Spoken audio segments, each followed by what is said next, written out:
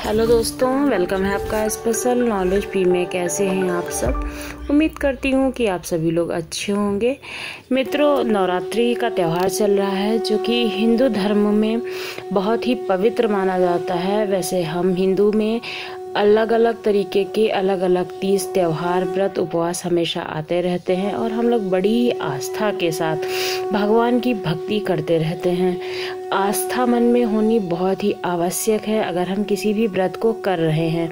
लेकिन अगर हम नवरात्रि के व्रत को कर रहे हैं तो हमें ये जानना अत्यंत आवश्यक है कि हमें क्या खाना चाहिए, क्या नहीं खाना चाहिए, क्या खाने से माता का आशीर्वाद मिलता है और क्या करने से उन्हें बुरा लगता है, तकलीफ़ होती है, कष्ट पहुँचता है, जिससे हमें भी कष्ट होता है। तो आइए जानते हैं इस वीडियो में। मित्रों, अगर हम नवरात्रि का व्रत रख रहे हैं तो हमें सेब अवश्य ही खाना चाहिए, क्योंकि सेब में बहुत तरह के पौष्टिक तत्व होते हैं, जैसे कि आयरन और विटामिन्स और मिनरल्स भी होते हैं, जिसकी वजह से कभी भी हमें कोई भी परेशानी नहीं होती और कमज़ोरी का सामना नहीं करना पड़ता है। इसलिए सेब खाना अत्यंत आवश्यक है और इसके साथ में बहुत सारे फल होते हैं जो कि हम खा सकते हैं, जिसमें बहुत रसा हो ऐसे रसेदार फलों को खाना चाहिए और जिसमें रेशे हों, उन फलों को भी अपने भोजन में अवश्य ही शामिल करना चाहिए। मित्रों, कहते हैं कि जब भी हम नवरात्रि का व्रत रखें तो हमें अपने घर में सीताफल अवश्य ही लाना चाहिए और खाना चाहिए। कहते हैं कि माता सीता ने इसी सीताफल को खा करके और बहुत सारे कंद मूल फल खा करके लंका में अपने जीवन को व्यतीत किया था। तो अगर हम सीताफल खाते हैं तो हमें माता सीता का आशीर्वाद मिलता है। इसलिए हमें सीताफल अवश्य ही खाना चाहिए नवरात्रि के व्रत में। कई सारे जूस हैं और दही है, जिसको मीठा दही भी बोलते हैं, वो सब पैकेट में आते हैं, पैक आते हैं।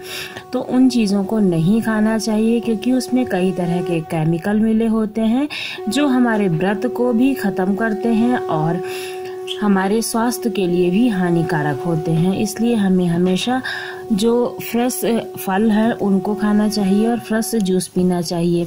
आप जो पैकेट में सादा दही मिलता है, उसको लेके आ सकते हैं या फिर कहीं भी जैसे दही मिलता है जो जमाया हुआ होता है, उसको आप लेके आइए।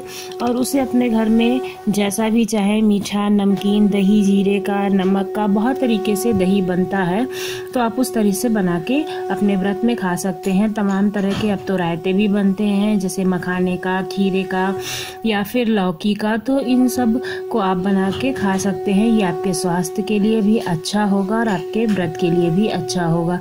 जो डिब्बियों में पैक दही मिलते हैं, उनको नहीं खाना चाहिए। आइए जानते हैं कि माता की पूजा करते समय किन चीज़ों का बहुत ही ज़्यादा ध्यान रखना चाहिए। जब भी हम माता की चौकी सजाते हैं, यानी कि चौकी लगाते हैं तो बहुत बार क्या होता है कि हम उसके नीचे पेपर बिछा देते हैं। लेकिन हमें पेपर नहीं बिछाना चाहिए, क्योंकि लकड़ी के साथ वो कई तरह के केमिकल को मिलाकर बना हुआ होता है। तो इसलिए हमें कागज़ का इस्तेमाल नहीं करना चाहिए, जैसे कि गिफ्ट पेपर हुआ या फिर कलर पेपर होता है तो वो मंदिर में कभी भी नीचे नहीं बिछाना चाहिए। माता की चौकी लगाते समय हमेशा लाल कपड़े को ही नीचे बिछाना चाहिए। इससे माता की कृपा प्राप्त होती है। और जहाँ पर आप चौकी लगा रहे हैं, वहीं पास में ही आप अपना आसन अवश्य ही लगाएँ। घर का कोई भी एक सदस्य जो माता के समक्ष रह सकता हो, सक्षम हो, स्वास्थ्य से भी सक्षम हो, उसको वहाँ पर अवश्य ही सोना चाहिए। जैसे कि वो हमेशा जो अखंड ज्योति जलती है, उसका भी ध्यान रख सके और हमेशा माता के पास रहे। जब भी कोई भी मतलब परेशानी होती है या मंदिर में कोई भी चीज़ ऐसी होती है तो उसको देख सके और अकेले माता की चौकी भी नहीं रहेगी तो इसलिए हमेशा ही किसी न किसी को वहाँ पर होना आवश्यक होता है। घर को कभी भी अकेला नहीं छोड़ना चाहिए। अगर आप घर में कलश स्थापित करते हैं तो और अगर घर में कलश स्थापित करते हैं तो अखंड ज्योति अवश्य ही जलनी चाहिए, जो कि पूरे टाइम जलनी चाहिए। कभी भी बीच में उस ज्योति को नहीं बुझने देना चाहिए, ऐसी कोशिश अवश्य ही करनी चाहिए। कभी कभी क्या होता है कि हमारी ज्योति बुझ जाती है तो उस चीज़ का हमेशा ध्यान रखना चाहिए। हाँ अगर कभी गलती से बुझ ही जाती है तो आप माता से उसके लिए माफ़ी मांग सकते हैं, क्योंकि इंसान है और हमसे ही कई बार गलतियाँ हो जाती हैं, लेकिन कोशिश करना चाहिए कि गलतियाँ ना हों। तो हमेशा अखंड ज्योति को बुझने नहीं देना चाहिए, उससे घर परिवार पर बुरा प्रभाव पड़ता है।